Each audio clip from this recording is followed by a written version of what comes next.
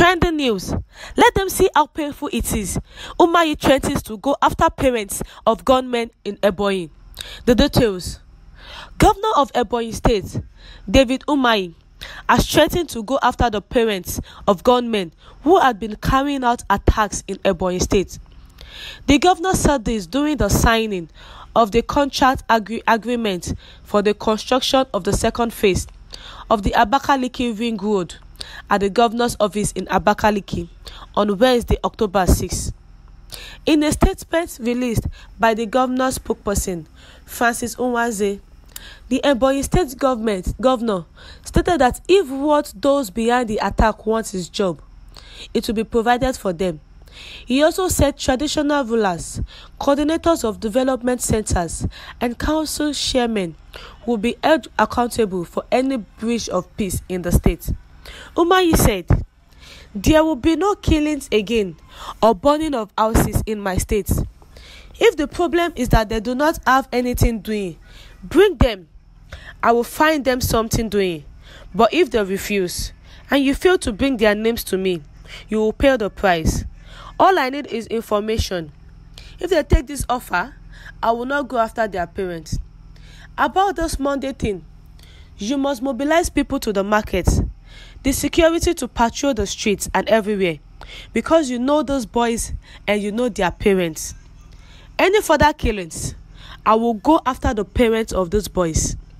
Let them see how painful it is, spilling the blood of innocent souls, people, because you are promised heaven and earth. You allow people to import criminals, and they are in the bushes, killing our people, and you're keeping quiet. Enough is enough. I have charged Ebubeagu to roll out today and do their work. The governor of the Ebonyi state has threatened to go after the parents of the gunmen. Those criminals that are kidnapping, that are killing, that are shedding blood in the states. He says, let them see how painful it is when he goes after the parent of the gunmen. He said that the parent of the gunmen knows exactly where the gunmen are. And if they did not provide them out, that is going to try, is going to do whatsoever it wants to do to them. He said that the police people should go ahead with their duty. He said they are allowing criminals to come into the state, making them stay in bushes, and they are killing other people. And the police people and the Nigerian army are keeping quiet. He said enough is enough, that there will be no further killing in the state. He's going to go about after the parents of those boys to let them see how painful it is, spilling the blood of innocent souls. He maintained that Sherman, including the traditional rulers, knows the hoodlums, their parents, and even the various forests they are hiding, but for their political interest for 2023, refuse to expose them. His word said, You council chairmen, traditional rulers, you know the parents of those boys, because any killing again, I will go after the parents of those boys so they can know how painful it takes to spill the blood of innocent people. You know them, you even know their houses, families, and friends. You know the forests where they are hiding. And all I am asking is information. But due to your political interest, maybe to use them ahead of 2023 elections, you have refused to expose them, but it is not going to be business as usual. He further charged local government chairmen and traditional rulers to preach to hoodlums now that the state government amnesty is still ongoing.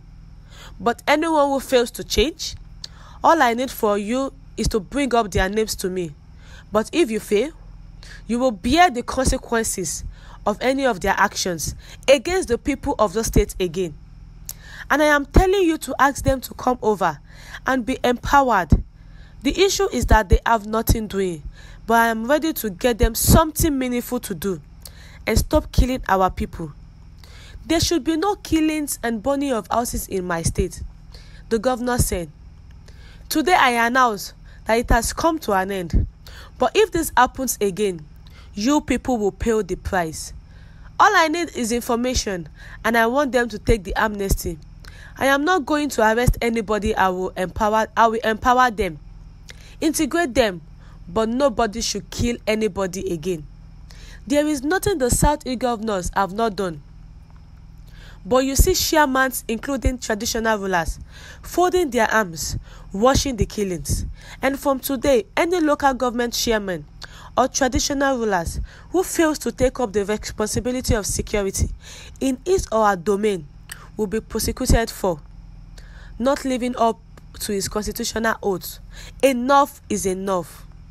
The governor came up and said, The traditional leaders are keeping quiet because of the 2023 elections. Maybe because they want to use these criminals, these hoodlums, against the 2023 elections. And the governor is making it known to them that if they did not provide information to him, they will be the one to to to pay the price. They will be the one to pay the price. And if it's that they do not have anything to do, they should bring them to him as is, as is ready to provide jobs for them. He said, Enough is enough. They, we don't want killings again. There will not be killings and burning of houses in my state again. He said he's not going to arrest anybody, but he will empower them. He's going to integrate them, but nobody should kill anybody again. We want a peaceful state. We want a peaceful Ebonyi state. Enough is enough. If you know wherever the criminals are hiding, it's urging the traditional rulers to speak. That the traditional rulers knows exactly where the criminals are hiding. He knows the parents of the criminals. And he's telling them that if they do not provide the criminals, he will go after the parents of these gunmen so that they will know that spilling of blood is not easy so that they will feel the pain of spilling innocent people's blood. He said that he urged the local government chairman to preach to hoodlums now that the state government amnesty is still ongoing. This is coming in when the Imo state said, go after criminal elements. Uzodinma charges troops in Imo State, the Imo State Governor, Senator Hope Uzodinma, has called on the Nigerian Army troops troops to target criminal elements in the state and ensure they are brought to justice. Uzodinma stated this while flagging up exercise Golden Dawn, a 34 Artillery Brigade forward operation based at Olu, Imo State on Wednesday. The governor noted that the army, its sister services, should come up together to curb insecurity and make sure that those people are brought to justice. Thank you for listening and God bless you.